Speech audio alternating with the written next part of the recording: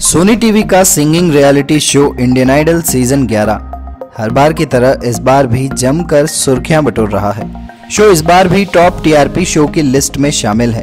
अब क्या आपको ये पता है कि एक एपिसोड का इंडियन आइडल सीज़न 11 के जजेस और एंकर कितनी फ़ीस चार्ज करते हैं? तो आइए हम आपको बताते हैं।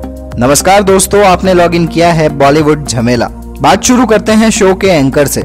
तो आदित्य नारायण एक एपिसोड का दो लाख पचास हज़ार रुपए तक लेते हैं। अब हम आते हैं जजेस की फ़ीस पर।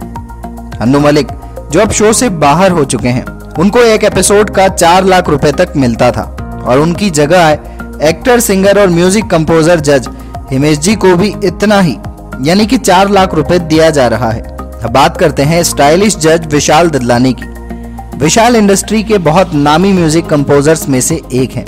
वो एक एपिसोड का चार लाख पचास हज़ार रुपए तक चार्ज करते हैं। बात करते हैं शो की सबसे चुलबुली जज, नेहा कक्कड़ की।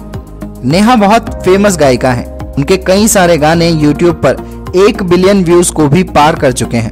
अब नेहा कक्कड़ एक एपिसोड का पाँच लाख रुपए से ज़्यादा चार्ज करती हैं। तो सबसे ज़्यादा पैसा नेहा कक्कड़ लेती हैं। अब आप हमें नीचे कमेंट बॉक्स में लिखकर बताएँ कि आपका फेवरेट जज कौन सा है? और हाँ टीवी और बॉलीवुड दुनिया से रिलेटेड ऐसी ही खबरों के लिए देखते रहें बॉलीवुड झमेला।